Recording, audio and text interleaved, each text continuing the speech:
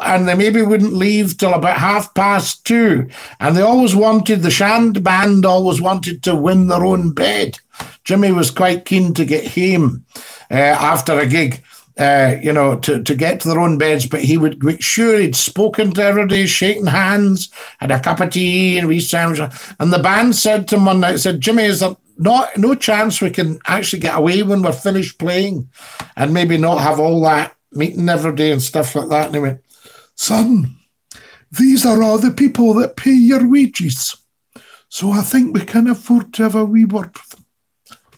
That was that was them put in their place. It was great. Uh, my old radiogram used to pick up the polis. Numpty yes, it was against the law apparently to listen, and you very often only got one side. But newspapers, I think, were always tuned in. It was on uh, very high up the VHF dial. Probably belongs to a radio station now.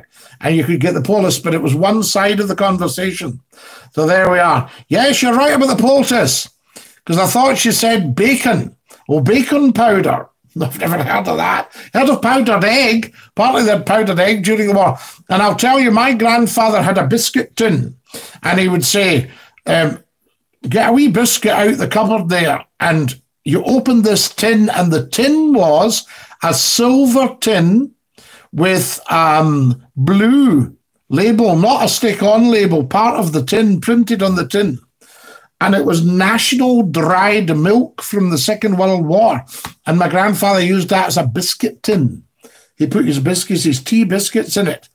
I was involved with a community station in Govans, Tony. We were based in the old Orkney Street police station. I remember working through the cells late night, scary. I could hear shouting. Oh, yes. The Rat Pack. Yes, Catherine, the Rat Pack. Now, who was the Rat Pack? Frank Sinatra, Dean Martin, Sammy Davis Jr. Who else was in the Rat Pack? Fantastic, the Rat Pack. Walking through the cells, that should be. Oh, I walking through the cells. Quality Scottish, says Glenn. Did you like that, Glenn?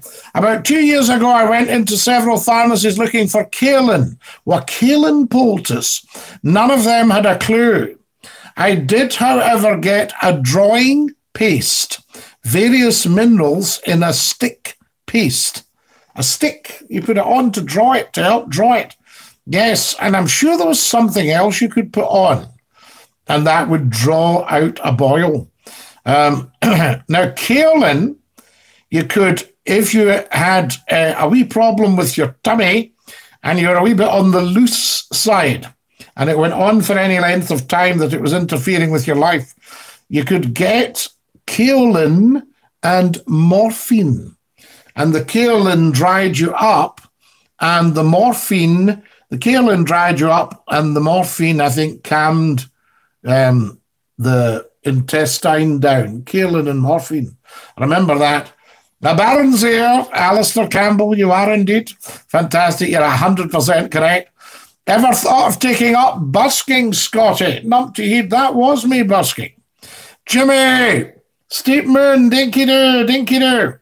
The legendary McClue. I wish new viewers could hear Linda too. A wonderful musician. Nice, Scottie. Yes, absolutely. But um, I can't put Linda on because if she plays professional tunes, I get hit with a copyright.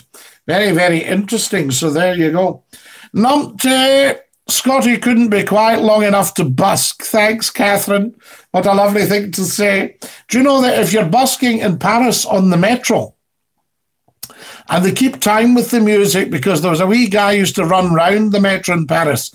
He was known as the metronome.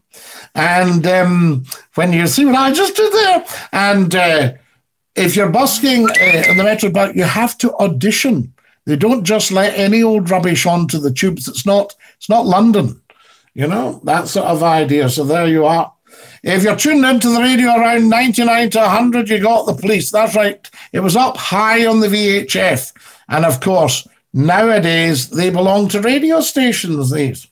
My Uncle Michael was well chuffed with his 95th birthday greeting. The other night he asked what happened to your glasses. I've still got my glasses, Grobler.